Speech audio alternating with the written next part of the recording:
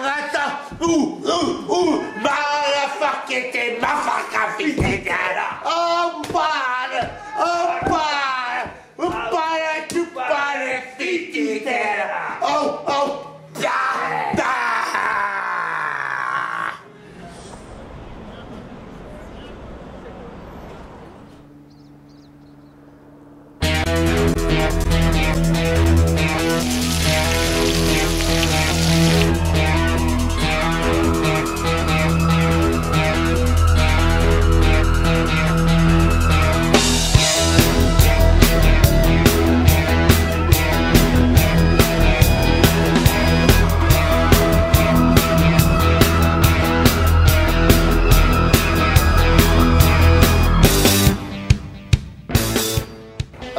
What's your name? Zina Kocher, Where are you from?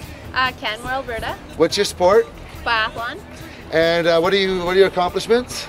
Well, uh, my top accomplishments are podium finish in 2006-2007. I was third, and uh, fourth uh, this year in World Cup.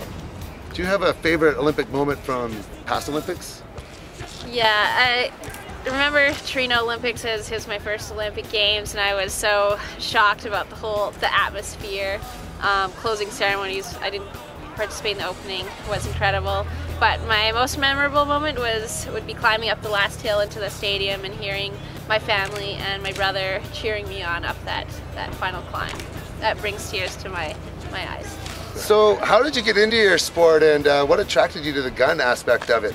Uh, I always wanted to be in the Olympics. Um, got into sport at a very young age, but I was more interested in downhill skiing. And when I was 16, um, I'd been cross country skiing since I was seven. But when I was about 16, the Alberta Winter Games were going to be in my hometown, and there's some a coach that was looking for some athletes to represent uh, the hometown, and so I got called and said yeah for sure because I knew what the sport was. I'd remembered Myriam Bédard winning her two gold medals in 94 Olympics and I wanted to be just like her. So I went out and had a great time and it just kept going from there. Have you? What do you think about all the red mittens we see around here? Uh, yeah, there's uh, a lot of mittens. I think it's great. I think, you know, Canadians have really gotten out and supported these Olympic Games and uh, it's, it's about that paint the town red that everyone's been talking about. So definitely it got the message out. Could you sign my jersey? Definitely. Where do you want it? Anywhere, just slap it on anywhere. Sweet.